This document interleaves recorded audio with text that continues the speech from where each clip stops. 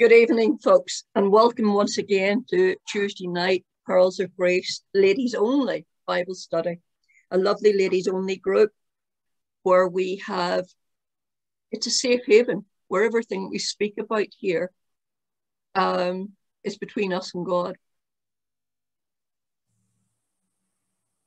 I'm going to open up the little message tonight and then Vicky's going to uh, take over. She's got some fantastic questions. I'm looking forward to this. I really am. We're going to talk about tonight.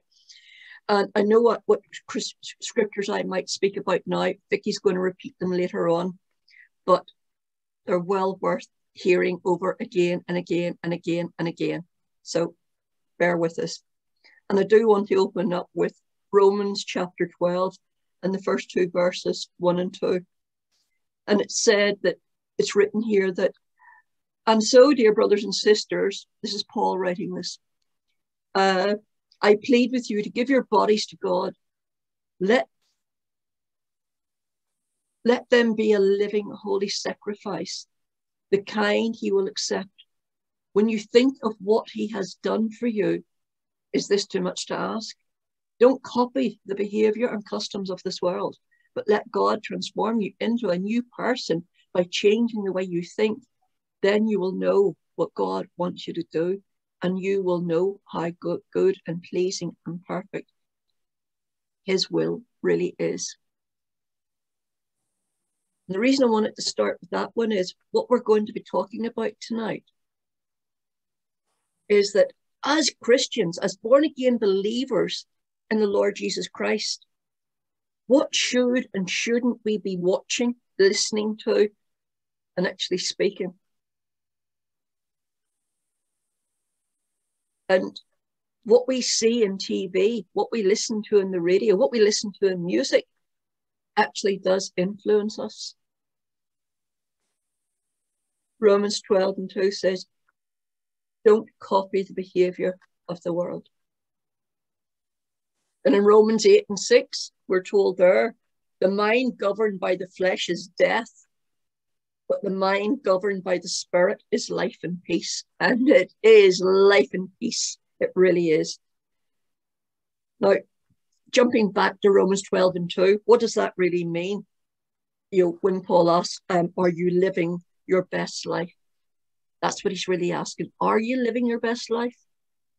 I have to ask myself that every now and again because I don't know. I'm human. I make mistakes. I stumble. I sin.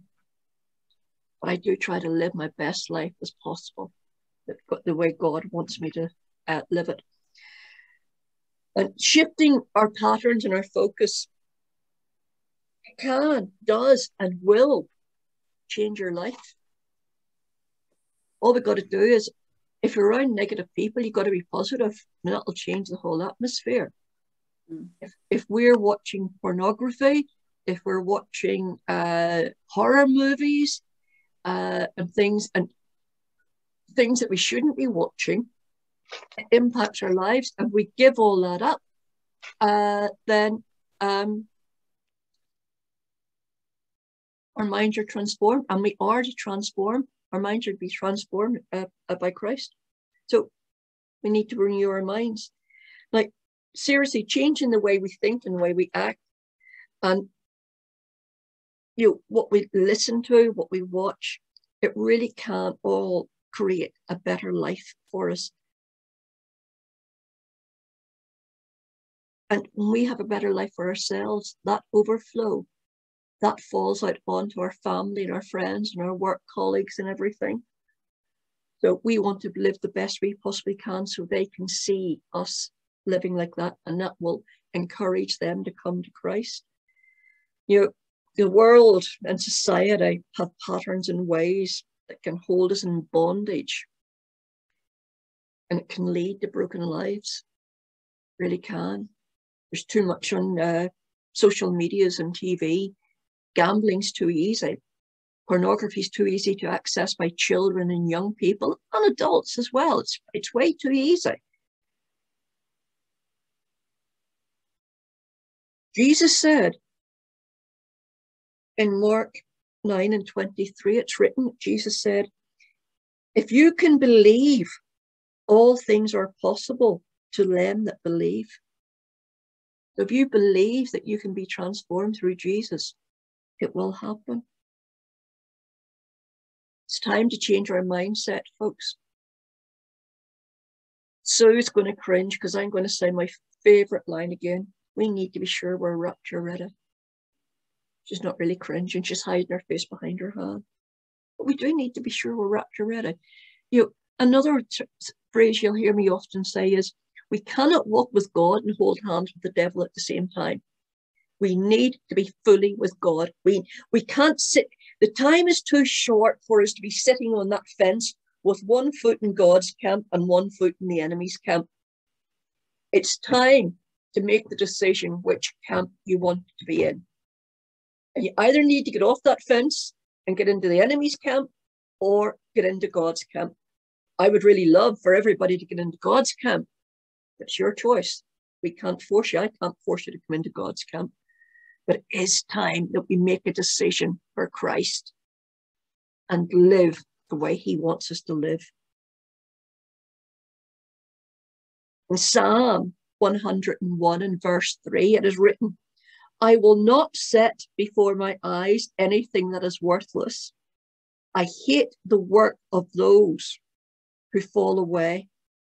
It shall not cling to me. We set many things before our eyes which is worthless. Michael, that's my darling hubby, him and I were talking this morning over coffee. And uh, we were talking about way, way, way, way back in the day that we watched Coronation Street and um, EastEnders and Emmerdale. And I used to love Emmerdale because it used to be, I thought, was a lovely family oriented show. But I think about three years ago, Emmerdale was the first TV drama, soap drama, to bring in transgenderism. Coronation Street is all about lesbians and homosexuals and everything. And Michael was telling me this morning that uh, apparently Prince Charles and Camilla are going to be making a cameo appearance on Coronation Street because apparently Coronation Street's ratings is falling. And too many of the public are complaining about its content. I wonder why. Nothing that the enemy puts out there is simple and it's not homely we know that way, way, way back in the beginning that you know, old Hollywood movies and things were all very lovey-dovey and they're all very family oriented. But when you really look at them closer in our older age, you can see the sublime messages in them. You can see where it started and push on to today that anything that's bad goes, but anything's good is not wanted. So we are in the day, folks, that where bad is good and good is bad